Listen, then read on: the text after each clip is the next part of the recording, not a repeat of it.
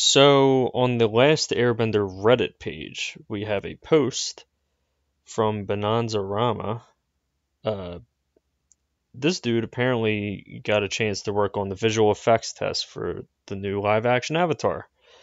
He got a chance to do some previs, which is pretty cool. I'm not gonna lie. You know, I'm not too optimistic about the show anymore because my opinion have cha- has changed over time after mulling some things over. Um, but it's still pretty cool. You know, I'm not gonna lie. It's pretty interesting. So, uh, this dude uh, worked on this previs stuff in a green screen studio in Los Angeles. They did some Firelord Ozai throne room stuff, Katara and Sokka in the tundra.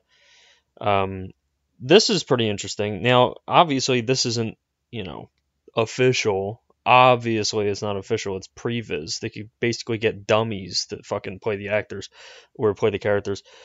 Um, but it's still interesting to note that James Lew, who is right here. He's a martial arts actor who's been in some movies. Um, was playing as Ozai. Pretty cool stuff. I think there's a picture. Yeah, here's him with Jackie Chan. Really cool. Not gonna lie. Um, so that's that's neat. They got Kevin Gardner, who I don't know, probably a new guy, because he doesn't pop up. it's just a bunch of random people. Anyway, um, and this girl Kate Buatti is playing Katara, who is this girl. No idea who she is, and she's white. she's white. Not that I give a fuck. Obviously, this is previs. They're just getting people to do the costumes, and ju- it's just a test, you know no need to be racist towards white people. Anyway, um, so basically, this test they have some images, which is pretty cool. Uh, Im- open image in new tab. Let's see. This is the green screened uh, Ozai throne room. Pretty cool. Pretty cool. Looks pretty official. Got a lot of green screen. Not a big issue. If the visual effects are good enough, you can paint it out, make it look good. But uh, looks looks crazy. They got a camera set up. Shit's actually going on. You know, pretty cool. Pretty cool. And we have this right here, which is the throne room again. Don't know why Zoe 101's popping up. But anyway, uh yeah. I mean that this this is not gonna be the actual show. You know, it's just previs. They're just testing some things out.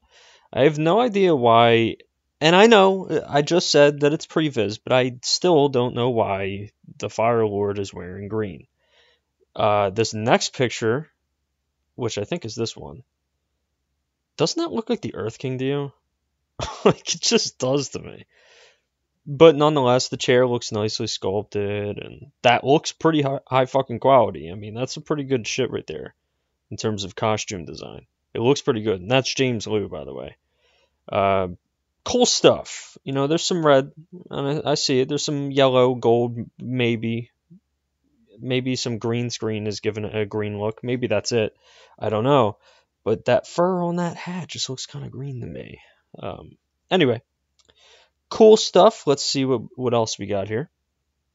Ah, very cool. Um, Katara and Sokka. Now, what's I, like it. I mean, it looks if this is previs, if this is like some sort of prototype of the costumes that we're actually going to see in the show, pretty good. Not gonna lie, it looks pretty good, pretty decent. That's exactly how I would assume that they would look. Uh, I know that there's going to be a lot of people out there going, "Well, why isn't it blue?"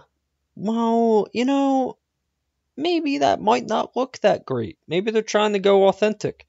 You know, the last Airbender movie, which I still posit Bryan and Mike had a lot more to do with than you might think, um, they want to make this authentic. So, you know, it's fine. And the next picture right here, we have some blue. And that looks pretty good.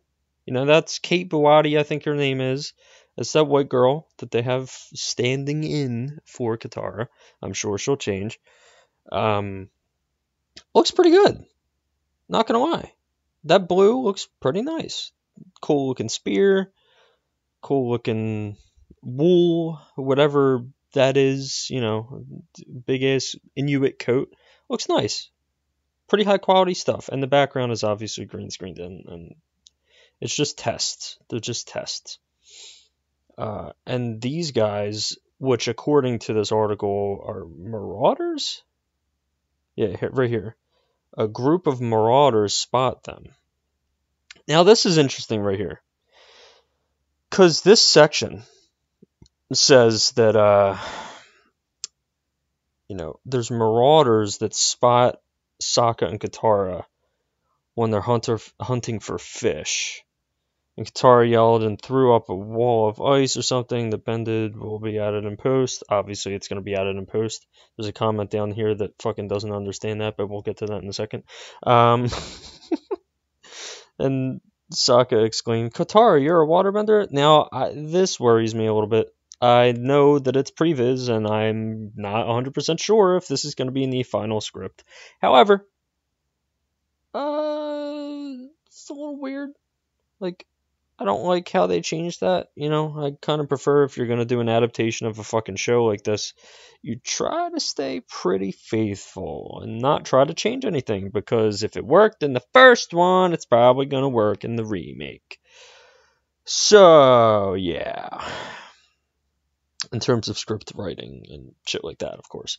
Obviously, some visuals need to be tweaked. And hopefully they get rid of Boomy. Um, but anyway, pretty cool now again, uh, this this thing right here says that you know the bending will be added in post. Obviously, it will be added in post, but this fucking idiot down here doesn't get that. The bending will be added in post. Oh, for real? What do you mean for real? It's it's fucking visual effects. It's gonna be CGI. Of course, it's gonna be added in post. What do you think that they're gonna be fucking throwing buckets of water around and call that water bending? Come on, dude. but anyway, yeah, that's pretty much it. That's all the posts. It's all the pictures and stuff. Uh, looks interesting. Looks pretty cool. I like this. I mean, uh, if they dial this up somehow and it's finished stage, maybe that could look really nice. I really like this costume. I think it needs needs to be tweaked a little bit, but you can see like there's some design things on the blue. You can't really make it out, but it's interesting. You know, I'm not too optimistic about this show because of reasons. You see, my opinion of The Legend of Korra and Bryan and Mike as a writing duo has shifted over time. You'll you may have noticed that over a while this channel has gone from liking Korra to not liking Korra to thinking it's okay and now to just straight out not liking it. Yeah, I'm a little indecisive, but finally, months ago, I realized that I don't, I'm not really optimistic about Bryan and Mike and their writing abilities, so I'm a little, a little nervous. But it's interesting to note all this stuff. I thought it would be interesting to post. Cool stuff. I'm gonna put the link in the description. You know, check it out yourself. Maybe the comments will be updated. Actually, let's check. Okay, so let's go to top. Yeah, see, even some people are saying, like, oh, that doesn't sound promising. It's not that bad. It's not that bad. What matters is the fucking script, and we'll see how much of a dumpster fire that'll be. But that's irrelevant at this point. Um, yeah. That's pretty much it. That's my Avatar The Last Airbender live action update video. Should be interesting. We shall see. Thanks for watching. See ya.